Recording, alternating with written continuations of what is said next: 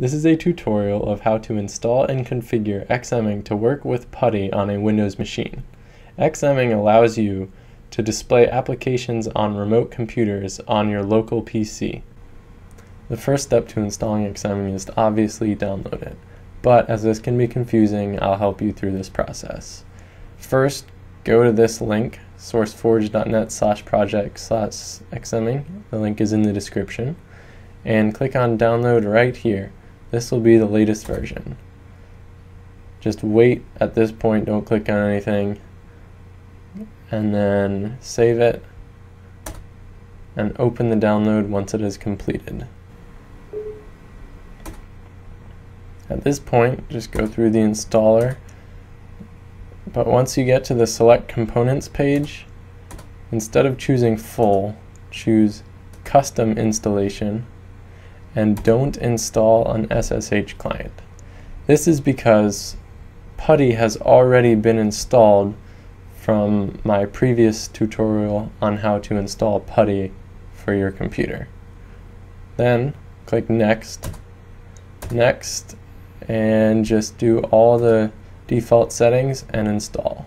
In order to get Xming to work with PuTTY, you will need to open up Xming and it'll show down here.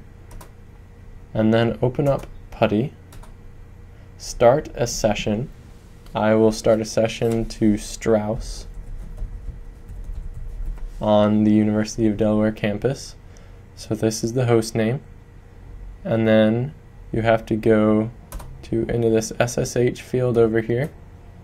X11 enable X11 forwarding.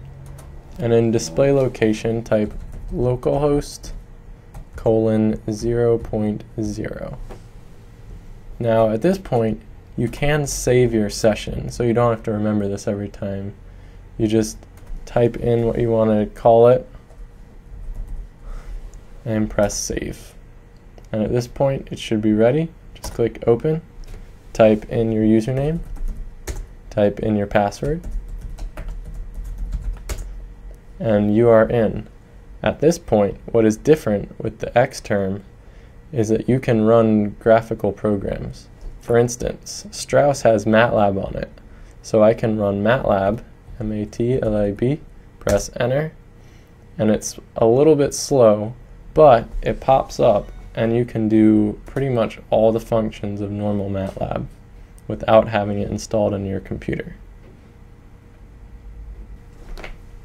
At this point, I'm going to show you how to close it. Just close all your windows, and you'll get back to this screen. Type log out, and you're all done. Thank you for watching. Hit subscribe.